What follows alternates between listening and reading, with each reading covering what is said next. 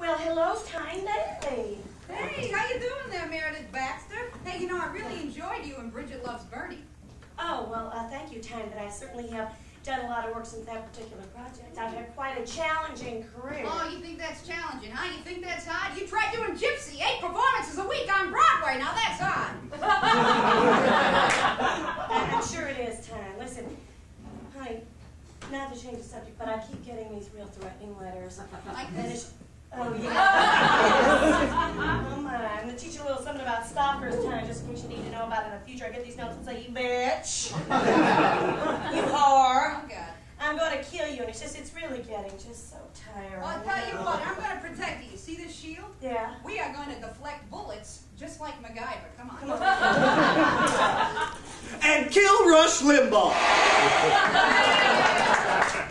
Thank you. And now, ladies and gentlemen, to present our first award for Best Situation Comedy. Please welcome the Best Gypsy on Broadway, Tyne Daly, and one of the Queen of TV movies and this year's Best Actress nominee, Meredith Baxter.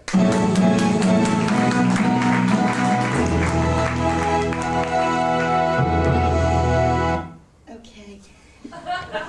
Good evening. The making of a situation comedy can be a pretty difficult situation. You think that's difficult, huh? You think that's hard? You try being a cop. Now that's hard. You try explaining to a kid cigarette burns on the baby of a belly.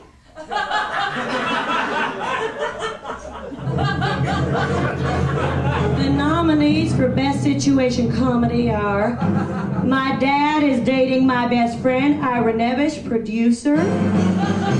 Coco, the albino gorilla. Ivan Naw, producer. There's a kid in the crack of my ass. Lefkowitz, producer. And the winner is. Oh, there's a kid the crack my.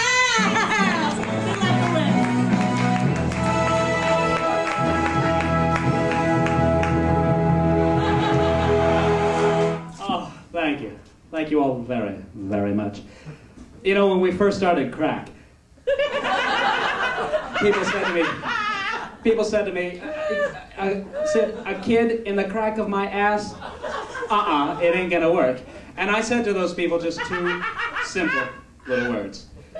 Herman's head. And the rest, of course, well, it is history. So, uh, on behalf of every kid, in every crack of everyone's ass, I thank you for this. God bless you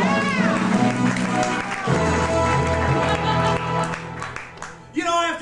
Caught a rerun of Kid in the Crack last night, and they can get that goat to do some pretty crazy things.